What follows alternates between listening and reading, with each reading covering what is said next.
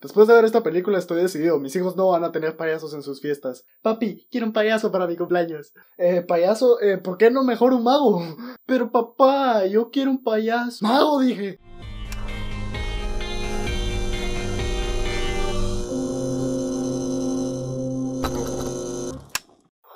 It.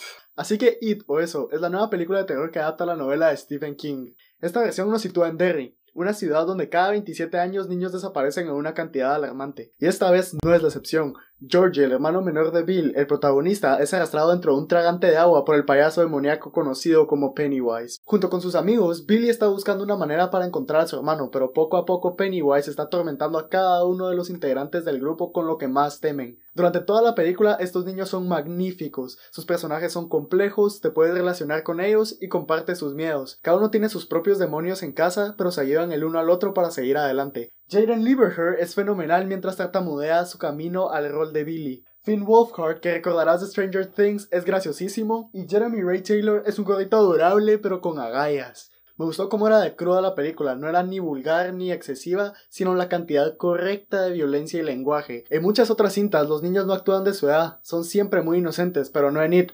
Las conversaciones que tenían los personajes eran las mismas de cuando yo tenía 11, 12 años. Piénsalo, cuando eras de esa edad no decías, hola compañero, ¿me podrías prestar tu balón? No, siempre tenías que enseñar tu clase. Hijo de p***, vení, dame esa... Niños. Pero si tú todavía hablas así. ¡Cállate, mierda! Pero asumo que no entras a esta película por la trama. Lo que de verdad te interesa son los sustos. Y It tiene mucho de eso. Pennywise, el payaso, es petrificante. Sus muecas y tono de voz te dejan helado cada vez que aparece en pantalla. Bill Skarsgård hizo un muy buen papel interpretándolo y cómo lo vistieron y maquillaron es inquietante. Tuve momentos tensos en la sala como este.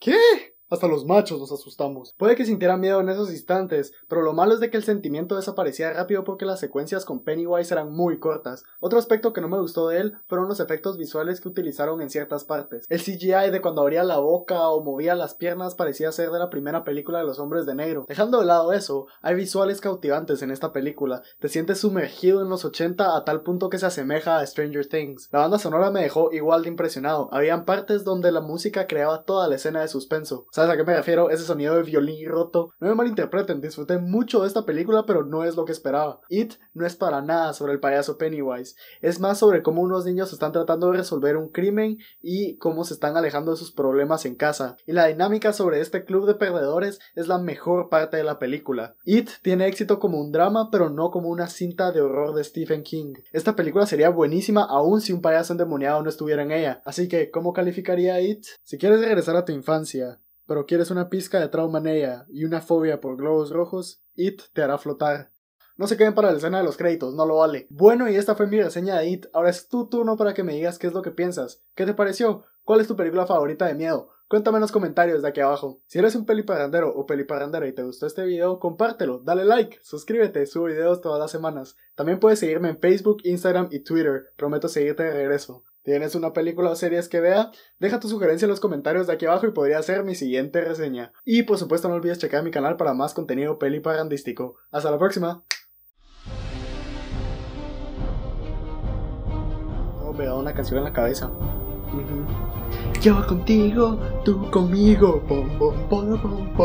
Quiero ser tu.